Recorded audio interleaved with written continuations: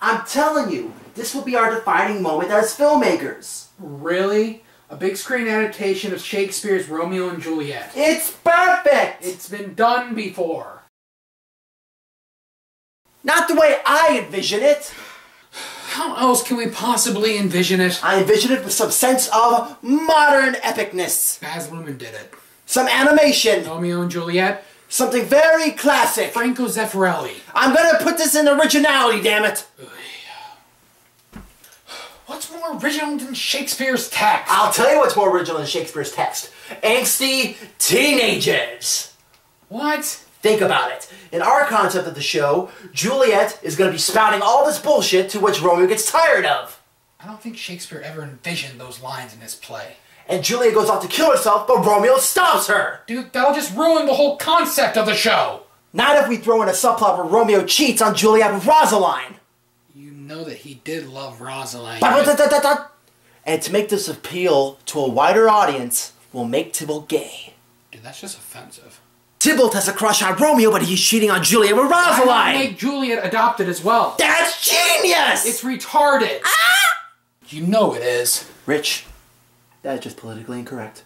Okay, so what? You're gonna make Varney Romeo and Tanya Juliet? Actually, I wanted to get some bigger name actors on this piece. Like who? Lyle Billington.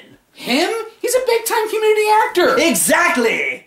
Dude, he's not gonna go for our show. Hey, who doesn't want to do Shakespeare? Anyone who knows Shakespeare apart from what you're thinking of. Hey, if Michael Bay can cast Megan Fox that has no context in this discussion. why can't we cast Lyle? Because he's 50 years old. Romeo's a teenager. We'll take some liberties! With Tanya as Juliet, yeah, that's gonna be kind of creepy. Well, hey, not if we cast Norma Wellington! The other community actress? Yep, Well, that's not a bad idea, Tyler. I told you. There's only one problem. what? She's dead. What? Why didn't anyone tell me? Dude, she croaked last July. The news should have updated me on this. Dude, she's a community actress. Forget it. Let's just write the script to our version of Romeo and Juliet. Hee. No, Please. no. It'll be awesome. We are not doing a punk rock version. We are never ever getting back together. It'll be insanely amazing. It'll be insanely idiotic. You never know. This shit is gold. Give me one reason why I shouldn't burn this script into non-existence. Because Shakespeare deserves to be shown to the masses. Even though you screwed everything up about the play. Give me three good examples. Okay. One, Romeo has no parents.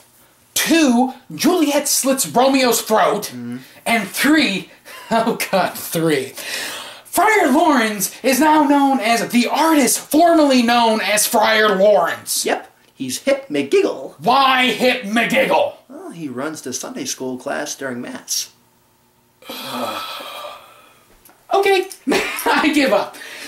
I, I, I. There's the rub. Wrong play. That's in a play?